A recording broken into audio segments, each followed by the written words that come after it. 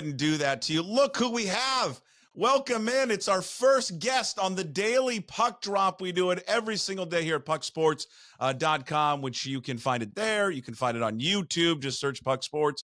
Also, Apple, Spotify, Amazon, my favorite part, wherever you find your, Your- podcast. Normally, just me Wow. going off for about 25, 30 minutes, but the beautiful, the handsome, the well groomed Brad Wow. Adam is here with us on uh, the daily puck drop. Hashtag Brad, the DPD. All right. Well, you're our first guest. Welcome. I like that. I got to Okay. get up early to be your first guest.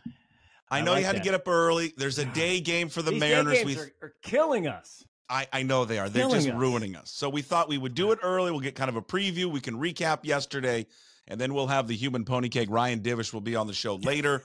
Uh, Ryan will come on and, and spread his sunshine and joy coming up uh, Yes. live from Toronto uh, afterwards. But uh, we thought we'd get you on. So welcome in. How how are you? Thank you, man. I'm good. I'm good. Thank Okay. you. Yeah, you know, up up. I've got kids away in Yeah. Palm Springs for spring break. It The whole me and gone. the dog. Yeah, just me and the dog for the last So- like three nights. So the whole family packed Good. up in the in the in the Griswold wagon and said, "We're headed to Palm Springs, and you've got to stay back because you got to work." Someone's Gotta earn some money in the Adam household. Exactly, and I got the dog. And I tell you what, Puck, not once. How good is it? How good Hey, is it? Yeah, they're like, "Hey, do you miss us?" I'm like, "Yeah." no, don't. You don't. You don't. You not gotta lie once. a little bit. Hey, not once has that TV been turned to the Hallmark Channel. We Oh. have not oh. watched any Love Island or Bachelorette or whatever. I, I, it is. Love I tell you what, I, I have to watch some of that with the girls. I don't know if you've Don't seen that because your your kids aren't old No, enough. I I mean think, my right? daughter's 14. She doesn't Ah, no, watch she's that. into it. She's no, but she watches. There's something on um, on HBO that she's into right now. Little Big Things or Little Big Lies or something Yeah. like that. I don't know. That's what she's watching. Now this show, uh, it it's ridiculously dumb as you would imagine. They all are. Of course, yes, but like absolutely. this one is like really promoting hooking up and going as far as you can and the Yeah, girls no. are like watching and No. talking about hooking up and this and that i'm like oh, the second no. my daughter comes Shut down it and down. says, second my daughter comes down from from her bedroom and goes, you know, I'm going to check out this new show on HBO called Euphoria. I'm like, no, Oh. we're gonna we're gonna basically we're gonna X out HBO. That's gone forever. Ter- i've seen a few episodes it has to be gone forever course. zendaya Okay, now she's like a hey. disney star it'll be Yeah, fine between Dad. me and you, you you've seen Oh more than God. a few, huh? Oh, yeah. with sydney sweeney oh my Oh, god Jesus. like are you kidding me oh lordy, uh, yeah. All right, here it is. Not Daily for my girls right, Not yeah. for your girls. The daily Woo. puck drop. We try to cover the top stories of the day here. Brad Adams is our, is our first guest here on the daily uh, puck drop. We'll try to do this a, a little bit more. Let's just focus in on the M's. You got the you got the pregame show today uh, on Root Sports. What time are you going to be on the old air? We're on at 11:30 with the Okay. Aussie, the hyphen. Now, it's kind of fun to watch Toronto play because, you know, they have Isiah Kiner Falefa, the Yes. second hyphen, but we have to call, you know, Ryan gets a little Oh. touchy when I mention, "Hey, there's my favorite hyphen." He he does not Yeah. like that. So I got So are they the only two Yeah. ever in the history of the sport? there oh, I think there was one more, Okay. but he I think he's the only current one. So yeah, I like to claim his Here's as my, advice favorite. to you, and, and and you don't need it, and Root Sports No, I- doesn't I, need love it. your Okay. advice. No. I, I love it. Let's focus on the pregame on that, and let's just not talk about the team. Can we, Yeah, what can do you we want to talk about do that? last night, right? Well, I don't know, A man. couple of home They, uh, runs. Yeah, they have dropped the first two games. They're four and eight on the season. It'll be Gilbert and Kikuchi, but we've seen it's the same thing, right? It's poor defense, it's poor pitching, and the offense isn't delivering. What What do you make of what's happening right now with the starters? Because this is the one thought, the one thing that we thought going into the season, right, Brad? This was going to be rock solid, and so far, none of them have- been rock solid. Yeah, that's been the, the one big surprise. You know, you're right. You kind of guessed that the offense would be spotty, hit and miss, and it has been. Although they have started to homer lately, which is a good sign. Uh, the defense, you know, we, we thought it could play play out like this, and it certainly has the first 12 games. Uh, the start, it, it's it's it's a little boggling, you know, to figure out what is wrong with these guys. It- one thing you can point to with Castillo and Kirby, their last couple of outings, they just can't put away hitters with two strikes. They're giving up a lot of two strike hits and a lot of two strike RBIs. And these guys are are really good about once you get the two strikes, then what do you do? You know, you spread the Yeah. zone a little bit. You know, you spin it a little bit. You get them to chase a little bit. But for whatever reason, you know, they're they're they're too close to the plate, and these guys are fouling off pitch after pitch. I think it was 26 foul balls last night on Kirby. The one at bat Springer is a great example, right? Third inning, he fouls off eight consecutive pitches. Kirby just couldn't put him away with two strikes, and he ended up getting an RBI single. Um, same so- problem with, with, Yeah. Castillo uh, the night before, but it's been the same problem for Castillo all season long. I, I wonder if there's a rhyme or reason to it. I mean, I don't. They didn't seem to have an issue with it a year ago or two years ago. No, you're right, and the stuff is is pretty much exactly the same. You know, the, the pitching guys are saying the velo is there, the mm. movement is there. It's just for whatever reason they're getting too much of the plate when they're making mistakes. It's too much of the plate, and and again with two strikes, they're just not able to get the swing and miss like they normally have. It, you're it, it, it's weird to watch them because you're so used to them, you know, striking out and getting deep in games, and they just haven't done that. They're just like almost pitching to contact, and they're getting hit. And to your point earlier about the defense, you know, plays are not being made behind them. Right. You know, we saw a couple more last night with Polanco. Um, you know, he only has one error technically on the year. Just technically, but there's a handful of errors, and he's just he- what he's not doing. He's not helping them out. He's not Right. doing anything that helps them out Right. defensively, and then you see it. And the one thing we like about George Kirby is this: this guy will wear his emotions on on his sleeve. So you know when plays are not being made behind him, he gets so agitated about it, and almost it's to a point where it's it is affecting the way he pitches. When people don't make the plays behind him, you can see the frustration growing. I mean, he was frustrated last night. He's throwing his glove. He is he's he's agitated the second he comes out of that game. So yeah, I mean, defensively they're not making plays. You know, Kirby though. I would also uh, say this: there was a point in the game yesterday. I, I don't know if it was the Springer at bat, but it was early in the game where he wasn't holding the runner on over at first base, and the guy had a lead. I can't- blanking on It's who it was. Varsho. Varsho. His yeah. was halfway down the first baseline, yeah. and And he's he not even paying time. attention. Right. And then- he and then finally- and gets the balk. Yeah. and then he gets the balk. Yeah, I mean, it's. I, I guess, Brad, it's little things like this that they're not doing well. They almost look, and I know that they prepare as as well as any team does in spring training and even out of spring training, but they look unprepared, and they just they look like they haven't been practicing, which is just is kind of mind boggling and frustrating to watch and and cover. Agreed. And and you know when things are going well, you know it's good baseball. When things aren't going well, it's bad baseball in all facets. And the skipper's talking about it last night post game. They're just not playing well. They're not being playing like the Mariners, right? They're not pitching. They're not playing defense. They're not getting timely hitting. You know, it, it's you know it, we, talked yesterday, Puck, and it's the same record after 12 games as last year, four and eight. Um, it doesn't make it any better, but it, but it lets you know that um, there's a lot of time and season left, as these guys keep saying. Um, and also, when you look at the standings, they're really being helped out by nobody is do- doing anything Right. in the West. You know, Texas got out to a nice start. Now they've lost three in a row. They're six and five. They and the Angels lead the division. Houston, four and eight. Yeah. All right. So, So, I mean, but really it- helps them. Is it scary though to keep kind of going back? Hey, we've been here before. We'll do it again. Because I, I'm with you. It, it feels like a run will be happening and will come. And it's such a long season, and they they have tended to get off to these these poor starts. Julio always gets off to a slow start. At least that's what he's been like early in his career. But Yep. I mean, you keep. You know, we went through this a couple years ago. Can the bullpen do it one more time? Now the bullpen was able to to replicate what they did a few years ago. How how uh, how sharp they were and how well they executed. But can we rely on them going on a long run again? This would be the third straight year where they would go, they would stumble and then go on this Right. incredible run. I think it's it's uh, yes they can, but boy, it's a lot to ask for a team to do that three straight years.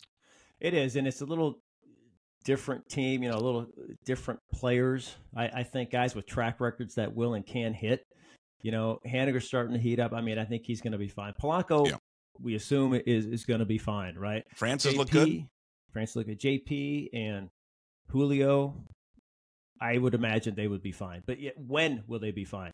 And also, you, you mentioned the bullpen; they've had some some big injuries. You know, with Brash and Santos out, that really hurts them. Now you got a couple of more guys, and Bolton and Snider out.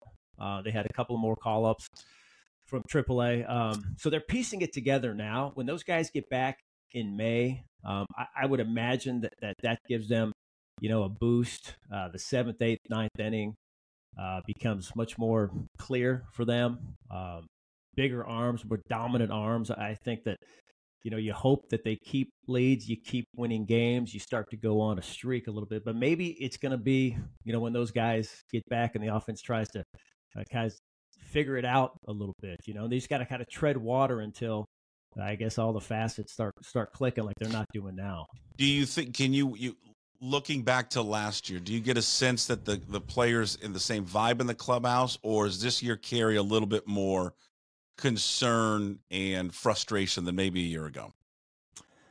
I think because of of the changes and kind of who they brought in and who they got rid of, um, it, it's a little confusing, a little frustrating that they're still striking out at an alarming rate, one of the highest in all of baseball. It was ten more last night, um, and it's just it just looks the same, you know. Um, hopefully it, it, won't look the same all season, but the offense, again, very spotty, hit and miss.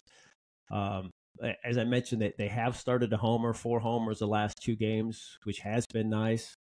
Um, but, uh, you know, there's no panic, but it, there's more it, frustration, maybe not even the right word, just kind of like surprise almost like, man, yeah. we're four and eight. Because they're just not making games. Off, yeah, they're offensively, they're not making anybody work. No. You know where the where the opposing offenses are really making these starters work. Especially you mentioned the two strikes, right? Four two strike mm-hmm. hits yesterday, three runs in the second off two strike hits. But then on the flip side, offensively, they're not doing they're not putting any pressure at all on these starters. Like no traffic, n- none of them. No traffic, no nothing. You know, minimal runners in scoring position. You know, I mean, you're you're right about the home runs, but you can't live and die on just you know solo shots. No, and that's what's hurting them too.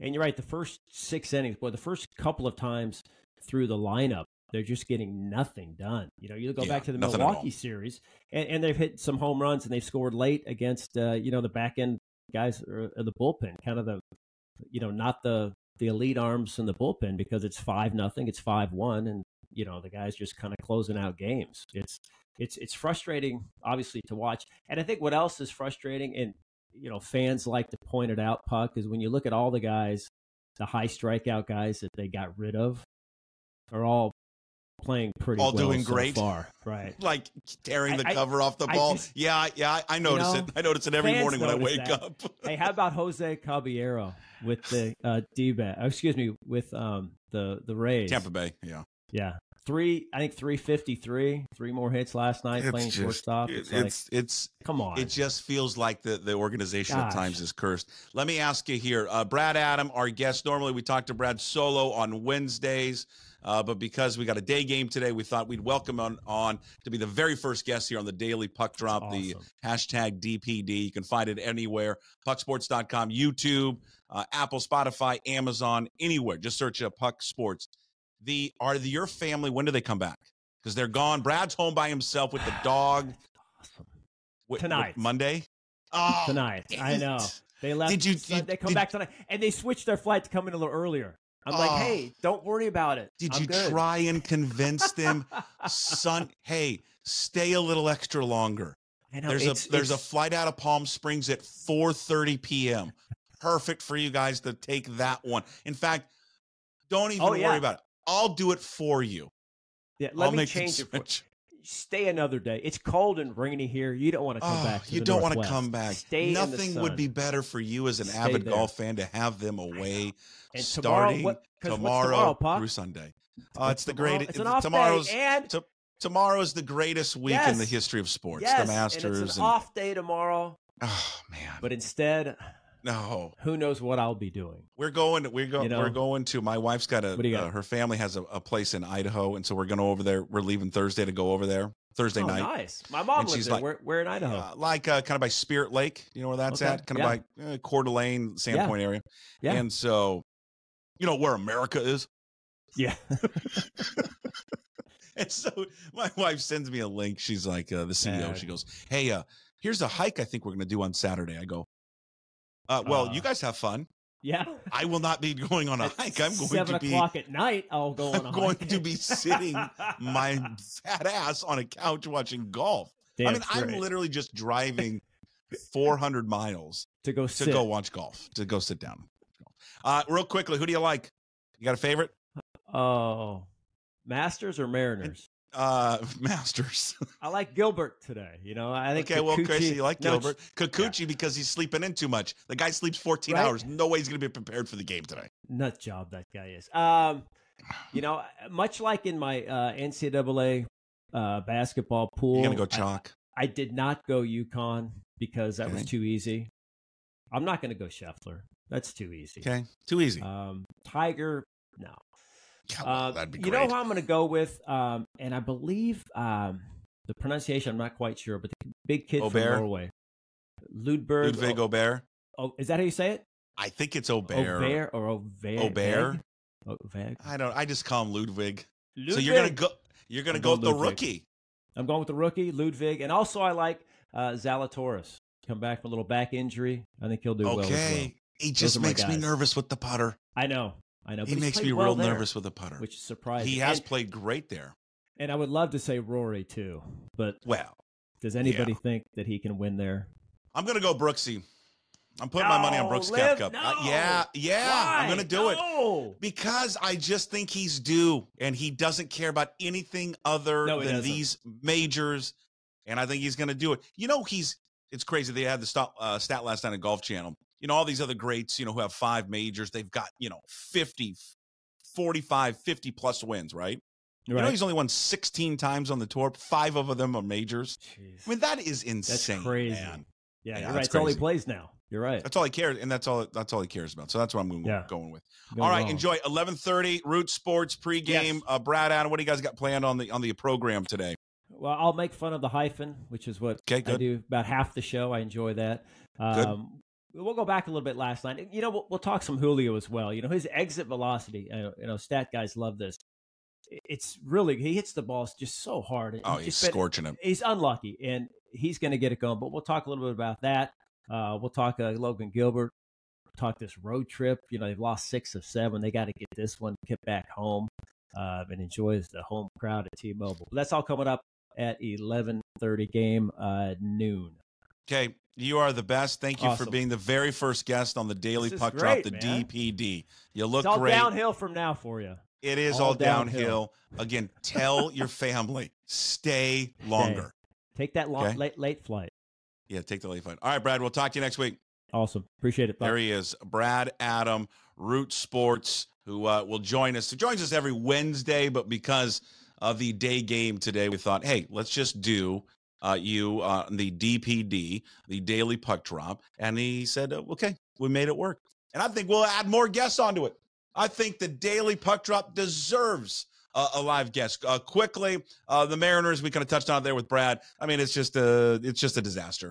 Uh, offensively, they're not good especially against right-hand pin- pitchers. They rank dead last in almost every statistical category offensively. The starting pitching now is a problem, and it, maybe they're just in a rut, what have you. But boy, it has just been uncharacteristic of this team of what they're doing starting pitching wise. And go back to the George Kirby thing real quick. He's a great dude. I mean, I love George Kirby.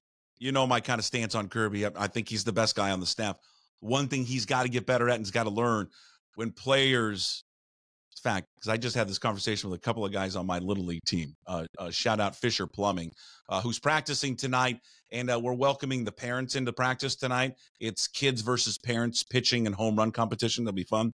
I'll give you an update uh, tomorrow on the daily puck drop uh, there on thursday but the i had a couple uh, chats with my pitchers on this one because a couple of guys including the vampire get a little frustrated when plays aren't made behind them and they show it on the mound.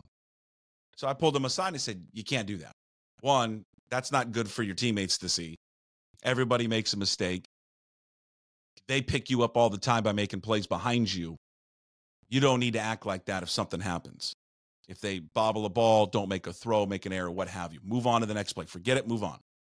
And I would say the same thing about George Kirby. He's got to move on better. He tends to dwell on that stuff uh, way too much.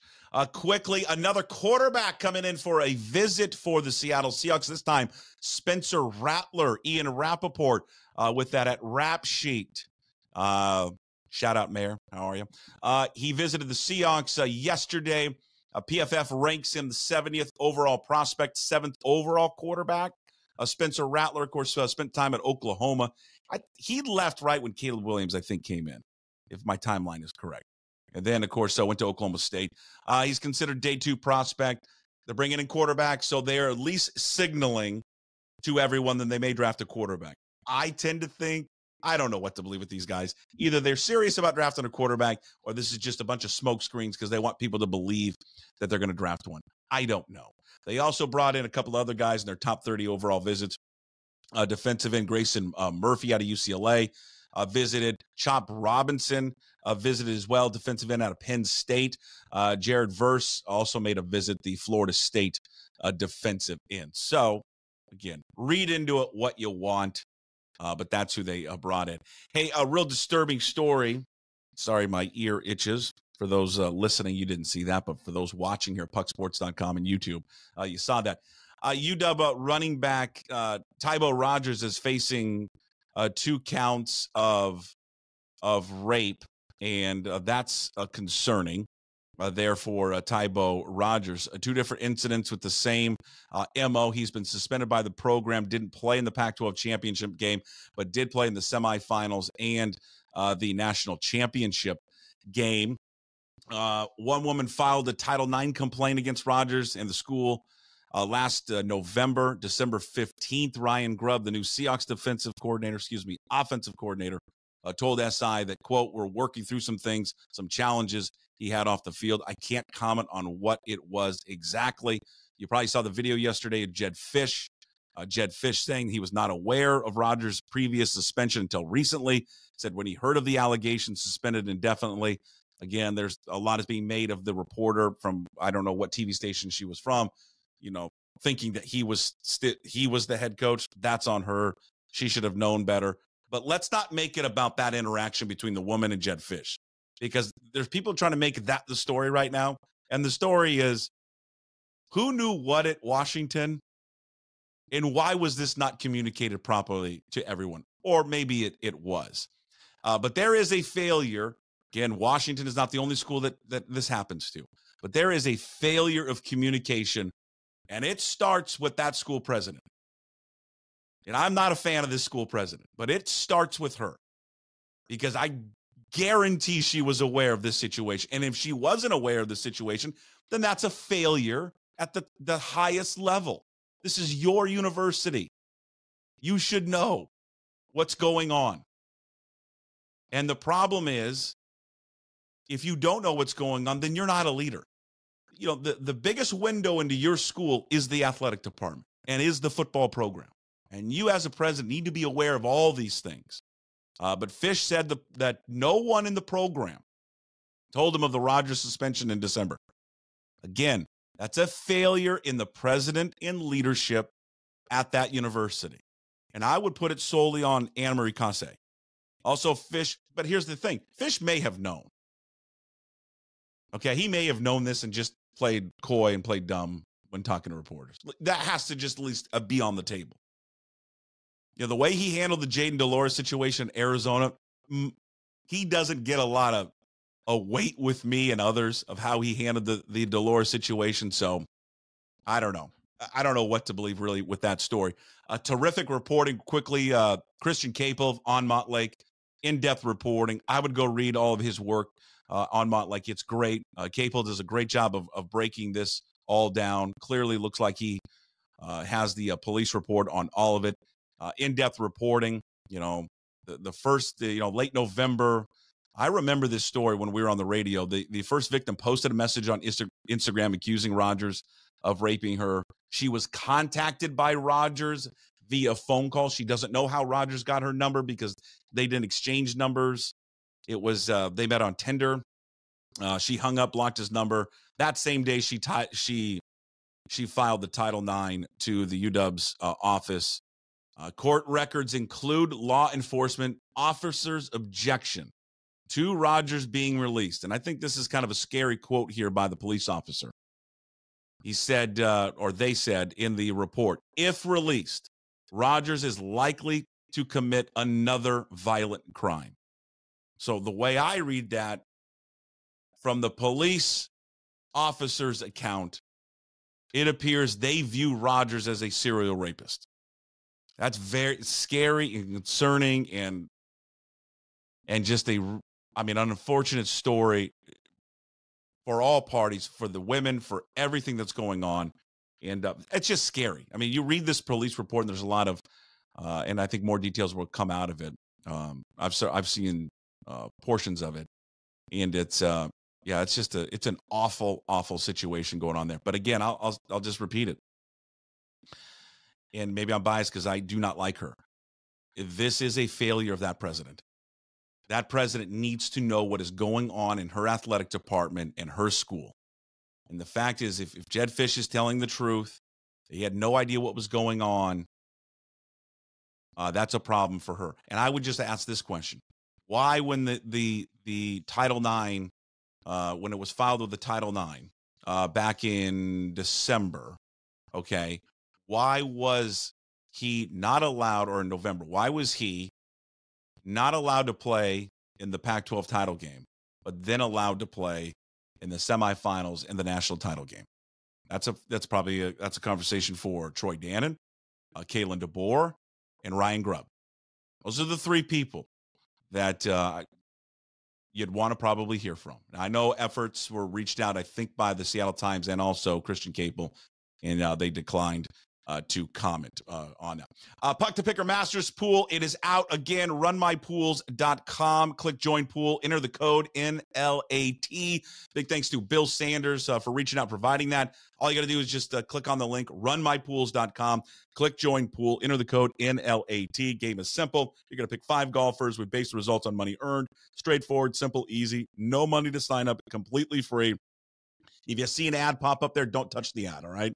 Just click on the runmypools.com, click join pool, enter NLAT. Big thanks to uh, several outlets for, for uh, providing prizes. First place, 100, uh, $150 gift card to John Howie Steak. Second place, a $75 gift card to Georgetown Brewery. Third place, $50 gift card to Flat Stick Pub. So thank you to them. A quick shout out to Tara uh, VanDerveer, Stanford basketball coach. She's uh, retiring, made that announcement you know, growing up as a kid, she was awesome and just the, like the best coach. That was the best program. Just a hell of a basketball coach. Also, uh, lastly, uh, there's a, a, story in the Seattle Times today, and this affects me because I, I encountered these people at at a park the other day when I'm coaching baseball. Seattle wants to uh, add more dog parks. I would say why? Because all anyone does in this city is take their dogs to baseball fields and throw the ball on the baseball fields. I've got two beautiful dogs, a black lab. She's an older lady, Maple, and uh, Alder, the super pup, who's a, a, chocolate lab. Listen, they love to they they love to throw the ball and they love to, to run anywhere. And I hate the dog parks, especially the one that's by me in Golden Gardens and Ballard. It's awful, but I take them there because I don't take them to baseball fields, so they tear up the fields. We got a kid that busted up his ankle uh, two weeks ago because there's potholes everywhere at Gilman Park where these dogs just dig in in the outfield and so there's holes everywhere. So i got into this uh, the other day at practice because gilman park and there's a facebook like page. This is what i love about these people. They have a facebook page called gilman park dog club or something. I mean they're advocating this is where we go to play with our dogs. And i was just telling people because we're trying it's it's a madhouse there we're trying to keep people off of it because we had an incident in our games last week with one team playing, one team practicing. Dogs were running into the game, into a softball game, a double A softball game. And then one of the dogs jumped on one of our players. And so we're just like, we're trying to get the city to get on this. Can you please stop it? Can you do anything? Of course, they can't. They won't do anything, or they just don't have enough resources. And so we were just, we're just going up to people and telling them, hey, please stop. And most people, when I was at practice the other day, were fine. This one woman, and just typical 27 year old, gal who just, you know, you can't tell her anything. This self entitled gal. And I say, hey, and I was being nice. Would you mind just please taking your dog off the park? Like, it's, you know, it's not good. They're not supposed to be here. I got two dogs. I get it. It's easy. I know you don't like the dog park, but please, we got a kid that got hurt, busted up his ankle, and we just we're trying to prevent people from coming on the on the baseball fields anymore and she goes okay i understand so i walked away and thinking that she would leave What I take five steps. What does she do? She throws the ball, and she's been doing this when I was walking over there for like 10 minutes. I turn my back, walk away. She throws the ball again right into the infield where the Seattle Parks had come and dragged the field. So it's perfect because they got a game coming up the next day. They've dragged it perfectly. And the dog's just tearing up the infield. And I turn around and yeah, I lost my cool, but I was well deserved. I mean, just F bomb after F bomb. But again, get the damn dogs off the baseball fields. They don't belong there. Is Gilman Park Dog Club. If anyone can join that Facebook group, please join it. Let me get in there somehow. I'm not on Facebook, but I would love to interact with these people. Okay. That is the daily puck drop, which features our first guest today, Brad Adam, Root Sports. Check him out on uh on the pregame today. Coming up later after the game at pucksports.com, YouTube, Apple, Spotify, Amazon Music. Uh, we'll have Ryan Divish live from Toronto to wrap up the baseball action. Thursday's coming up. It's our NFL Football Thursday. Rob State will join us. Also, Mike Garafolo. We'll talk to you soon. As always, we promise to be better. No shirt, no shoes, no ties. Would anybody like to smoke some pot? Yeah. I was born to love you. I was born to lick your face. I was born to rub you. But you were born to rub me first. What do you need my address for? We'd like to send out a mailer. Mother of mercy, I don't speak Japanese!